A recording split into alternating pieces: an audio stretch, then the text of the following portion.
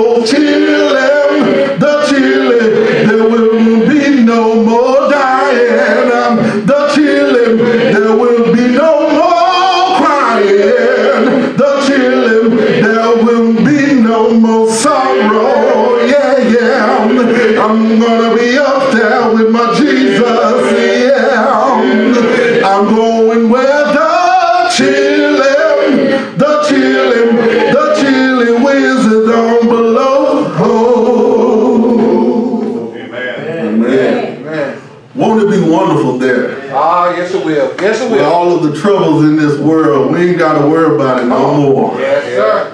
We ain't got to worry. We'll be up there where the chilling winds don't blow. And when we up there, all we gonna be doing is singing. Ah, Ain't got to worry about nothing. sing. Just sing. Just sing, All right. Brother right. Maxie. Just sing. All right. Hymn number 50 Yes, sir. in the in the supplemental book, the white. We will sing hallelujah. Oh, yes. Yeah. Yeah, we'll be singing hallelujah. Yeah. So as we sing it, let's let's let's see. Let's sing it like we will be singing it up there. Ah, yeah. Let's we don't need to worry about tomorrow That's right. or yesterday. Oh, gone. What's gonna happen, what done happen. Oh. Uh, don't have to worry about nothing. But just right now, just for All these next few minutes, Yes. we Yes. sing hallelujah. All right. By and by. When we reach that city of the New Jerusalem, well, we're gonna sing hallelujah,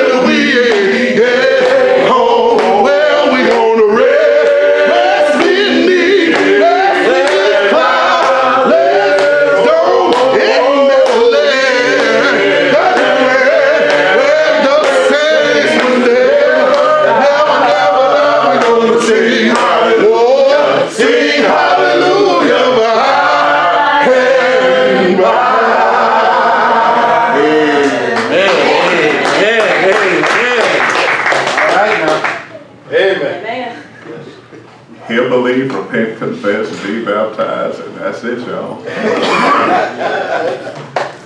Yes, sir.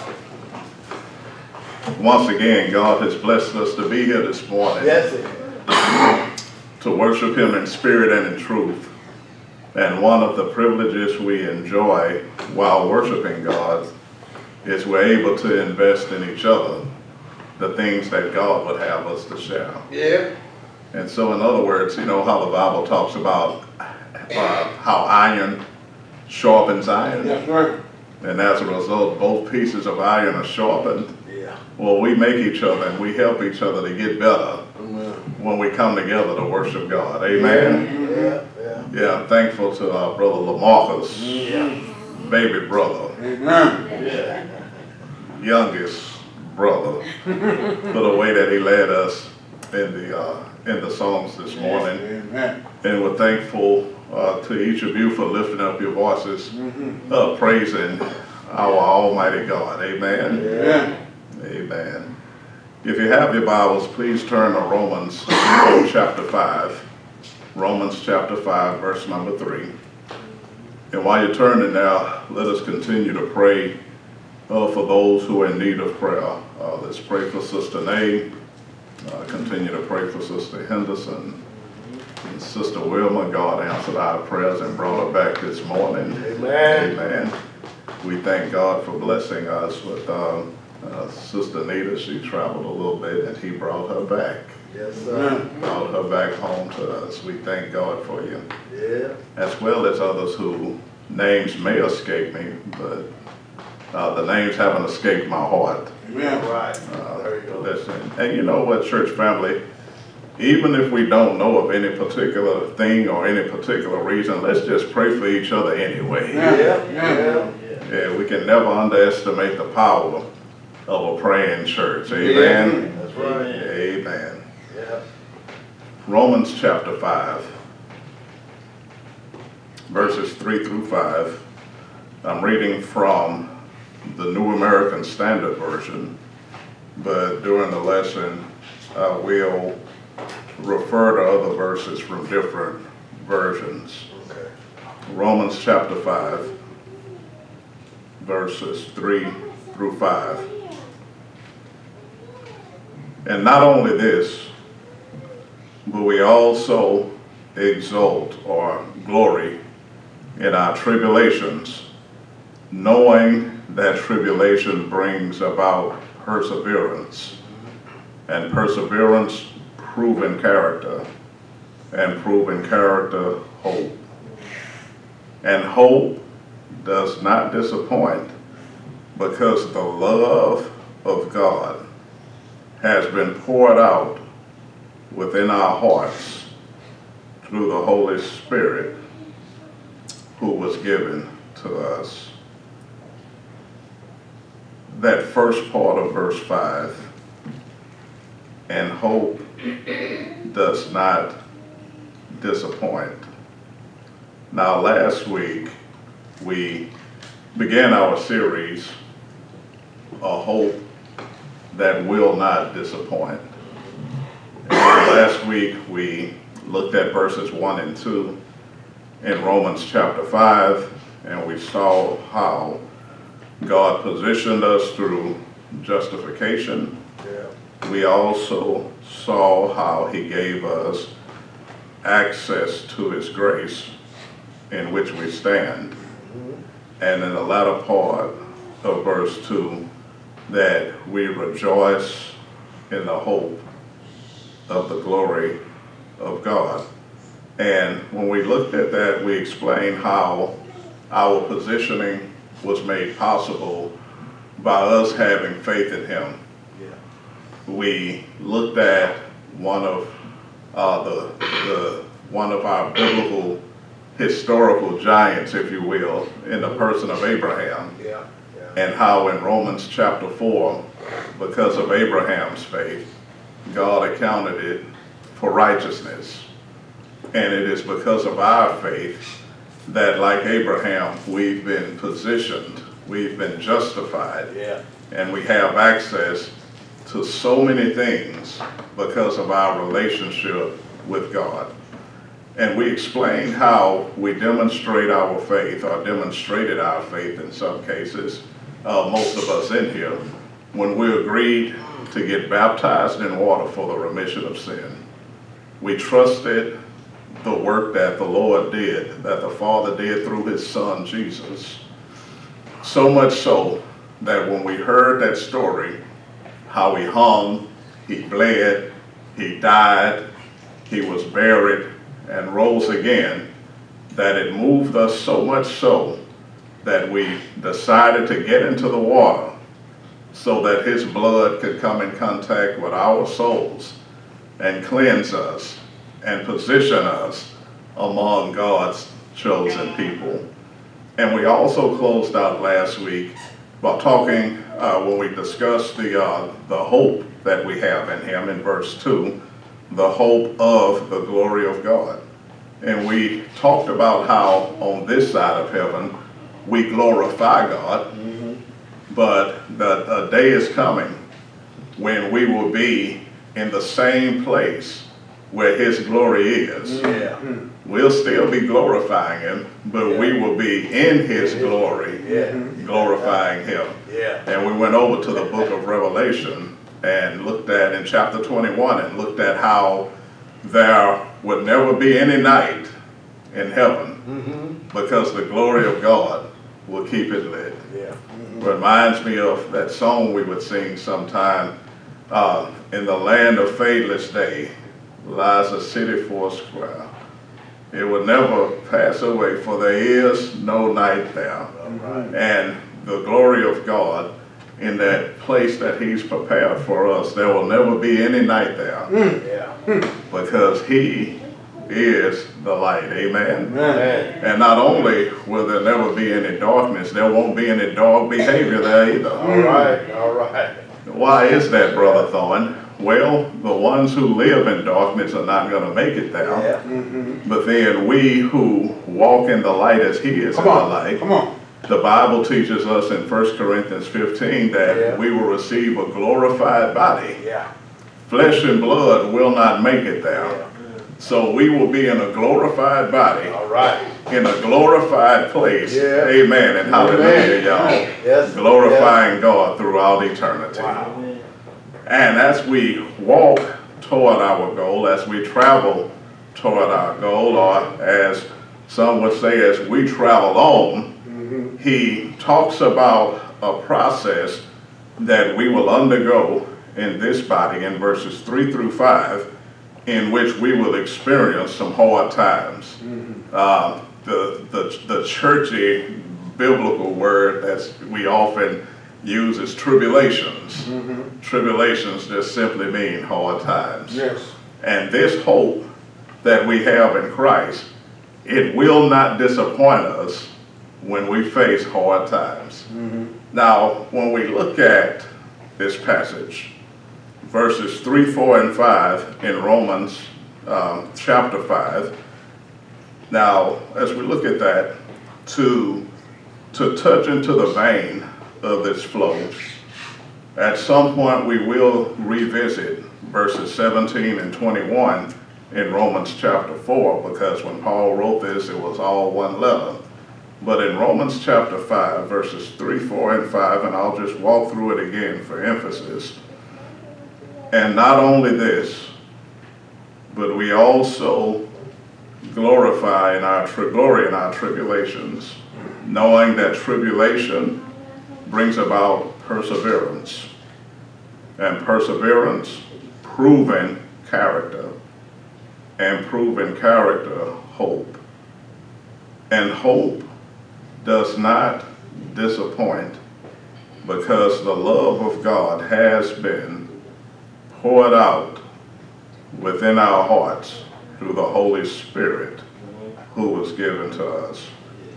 Now, one thing, as we approach hard times, we can go in knowing, key word is know, that we have a hope that will not disappoint us. Yeah.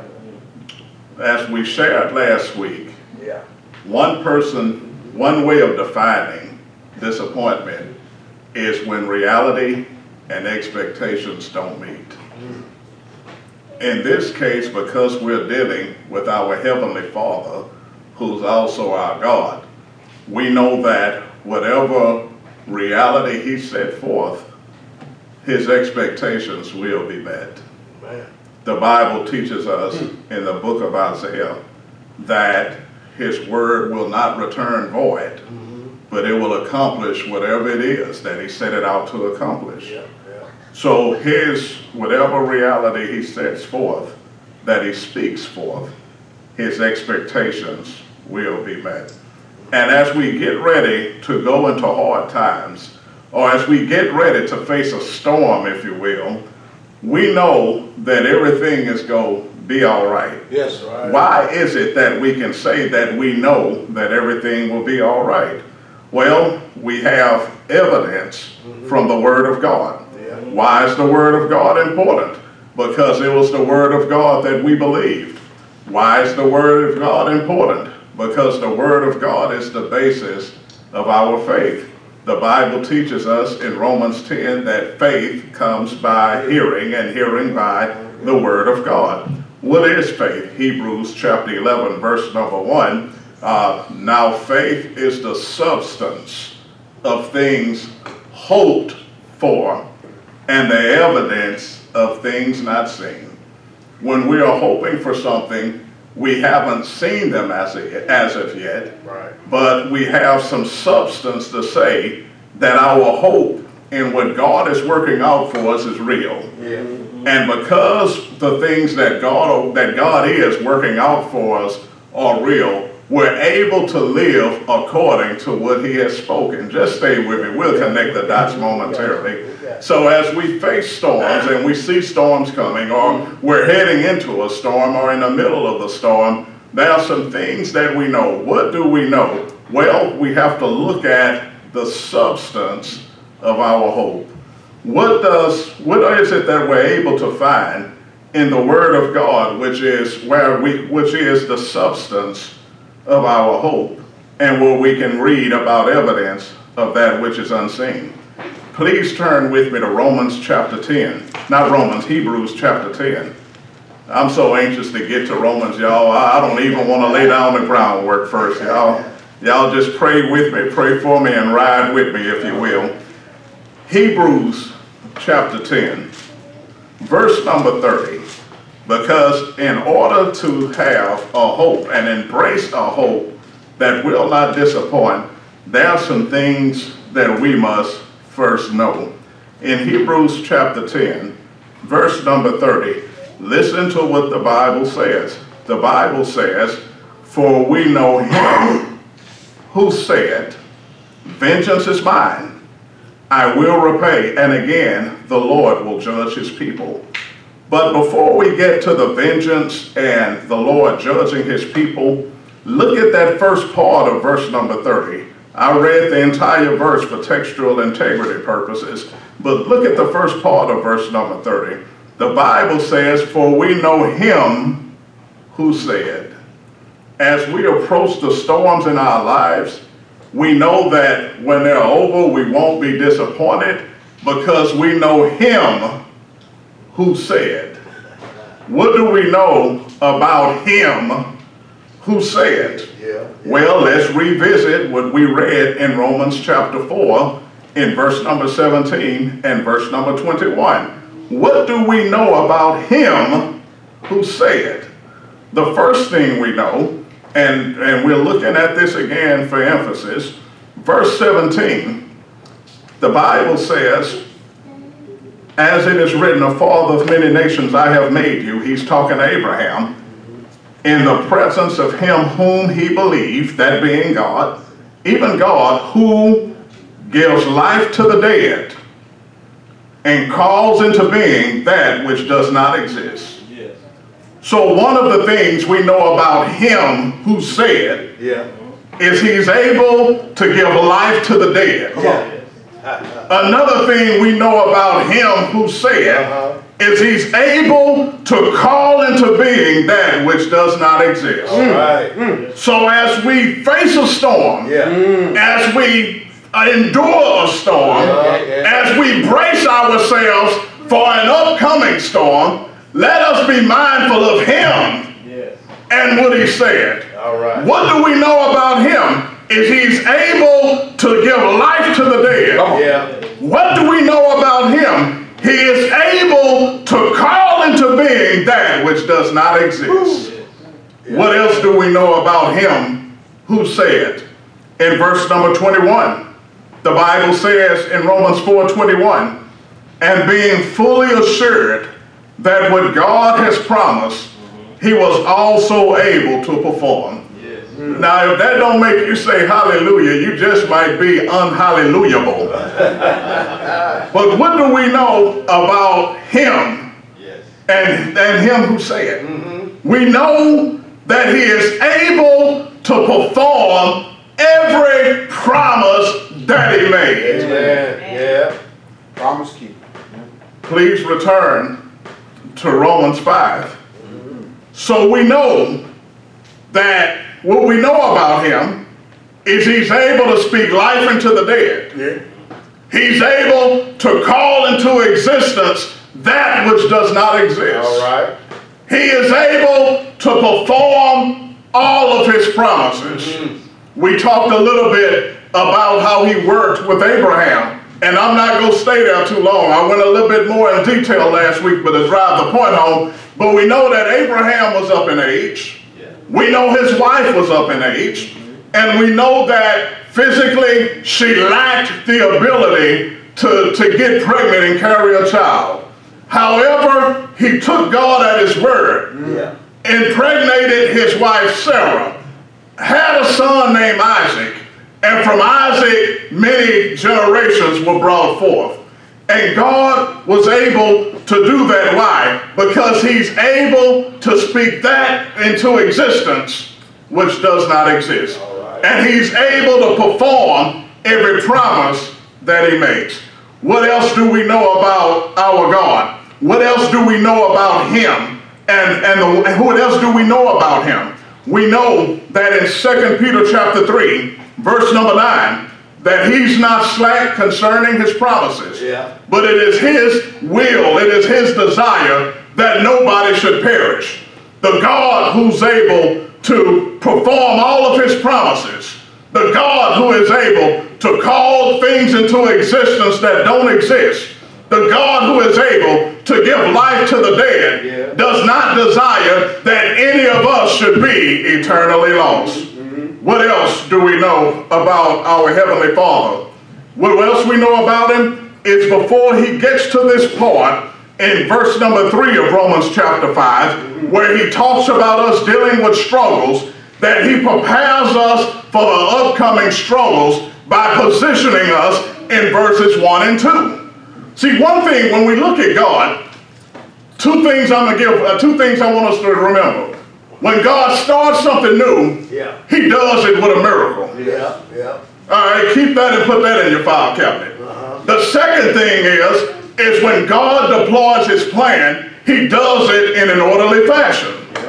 Where do we see the orderly fashion? Uh-huh. In Romans 1 and 2, He positioned us and He gave us access to His grace, Yeah. and He put uh, and He put the hope of being in His eternal glory before us. Yeah. He says, I'm gonna position you first. Yeah.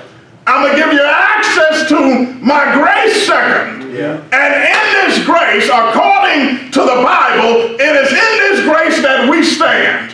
One way of looking at it is last time we were together, we talked about how how uh, how justification was our position, and the peace that we got from justification was our disposition. But standing in God's grace was our residence. But but I'm gonna go ahead and annotate that and call it our zip code. Right. Why is that? Because it's too many people in God's grace to amen somebody. As many people as there are in God's grace, He's given us our own zip code. Yeah. So He positioned us in His grace, and He says, now that you have access to all of my promises, as a result of me justifying you as righteousness, I want you to know that hard times will come. Yep, yep.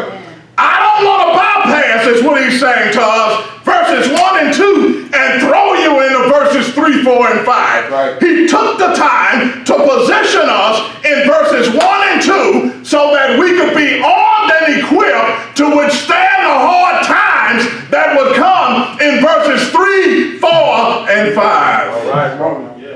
And so what do we learn? We learn that he uses hard times mm-hmm. as a character building process. Mm-hmm.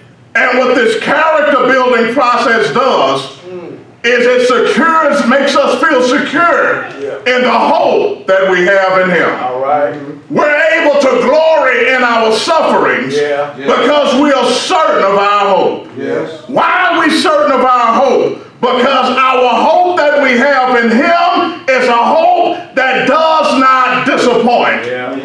And what do we know? What else do we know? We know that when we are in a bad place uh-huh. or experiencing a bad time, that we can celebrate preemptively because we know that God is doing two things. He's going to bring us through and he's using it to build us up. Yeah. Look, look here, let me tell you, let me, let me break it down for you this kind of way, as we used to say. See, there are people who will give us a hard time just because they want to make our lives difficult. Come on. Some of us may have been with those people at once upon a time. Yeah. Don't admit that, but we all, amen, somebody, but we all know. But the key is God, who is our Father. I think sometimes we forget that He's our Father as well as our God. But God, who is our Father, He allows us to go through hard times, not to torment us, improve us. Come on. And the way that he improves us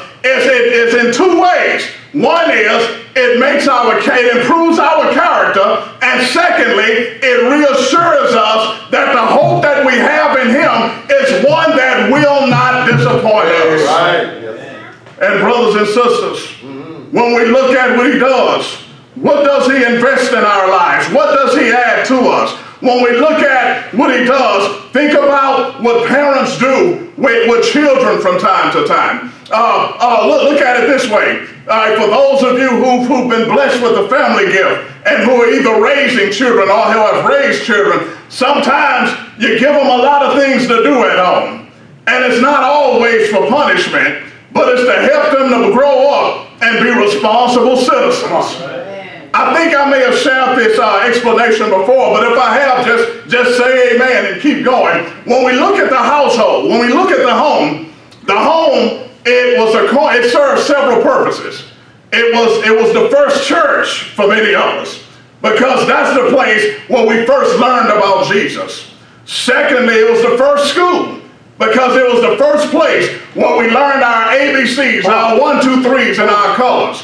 But lastly, the home was also our first place of employment. We learned how to clean up. We learned how to cut grass. Yeah. We learned how to start a job and not finish it until it was done. And when we left home, we knew that if we couldn't get a job doing anything else, we could get a job cleaning up or cutting somebody's yard. And church family, that day it seemed unfair at the time when we were kids. But the hard times that our parents put us through, Yes. when we look back at it, it equipped us for the life that was waiting for us down the road. Amen. And when we look at what God does, when he allows trouble to come in our lives, he's not doing that to inflict pain on us so he can look at us and shake our fingers or, or maim us or, or, or, or, or, or take things or, or what's the word I'm looking for or subtract things from us but he uses those moments to add things to us what does he add to us in verses 3 through 5 he adds perseverance Yeah. what is perseverance it's our ability to pursue a goal or a passion over time and stick with it even if we encounter obstacles or setbacks. And brothers and sisters, if we know anything about our living, if we know anything about life, sometimes we will experience setbacks. We'll even go through seasons where it seems like as soon as we get rid of one, we're stepping right into another one. Yeah. Sometimes it feels like as soon as we solve one problem, another one comes as if it's a domino effect. Yeah. And you're saying, Lord, when is it go all in? Mm-hmm. But the key is he allows that to happen so that we can continue to pursue him and his righteousness in the face of adversity. Look at it this way. If Jesus, who was his only begotten, experienced adversity uh, during his during his walk, during his during his walk here on the earth, then guess what? We will experience it as well. That's right. We know Jesus experienced adversity. He experienced it before he got to the cross. Right. Betrayed, lied on, accused of having a demon. How you go accuse the Son of God of having a demon in John chapter 8? But the, but the point that I'm making is, lest we get lost in the details, he uses hard times to teach us perseverance. And what perseverance says is that no matter how difficult things are, I'm going to stand on what's right because I know my daddy in heaven above got my back. Yeah.